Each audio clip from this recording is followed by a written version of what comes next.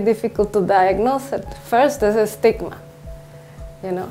Second is because it has a tendency to present with a lot of physical symptoms.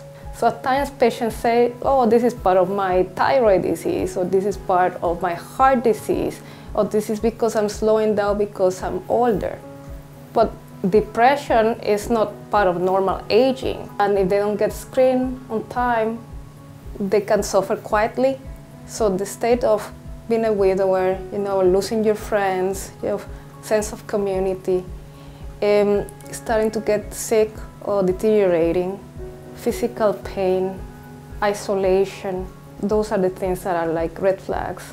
And the idea is to bring awareness to the physician community and the healthcare professionals community. The most difficult part is how, how to have this conversation in a respectful way and how to uh, refer the patient to the behavioral uh, health specialist, can be a psychologist, can be a psychiatrist. It's easier to have these conversations nowadays than 15 years ago with the patients. People are more open and uh, about psychological or psych psychiatric problems, behavioral problems. It's a reversible condition that, if treated, will help the quality of life of the patient and will help the independence.